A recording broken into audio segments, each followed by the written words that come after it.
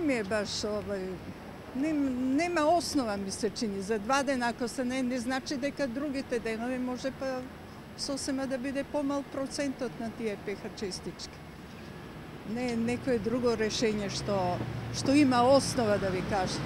Вака на ако биде, нека биде, тоа е кондиционел, не, не само на сигурно. Ние постарите сакаме сигурно нешто да биде, нешто да веруваме во тоа, не на ако.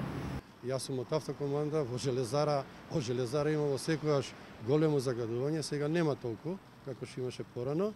Меѓутоа, а, ова што го затворија Скопје прави голем проблем. Значи, за тоа што викате вие конкретно, не сум за таа мерка, затоа што мислам дека не е само тоа решение. Треба да се направи посеопфатна анализа, да се види што се проблемите и да се реши. Ова сиромаштијата е да ти да ви кажам право намет, нов намет на, на народот. Што не, не, не е исправно се случи. Од сега сме ударани. Затоа не го, не го прифаќам тоа. Мада не, не го користам ја тоа многу, многу. Не можам да си изјаснам ако најповолно. Ја мислам дека не треба воопшто да се покачува цената на паркингот. Стварно ја мислам нема нема резон да се покачува. По моје мислење.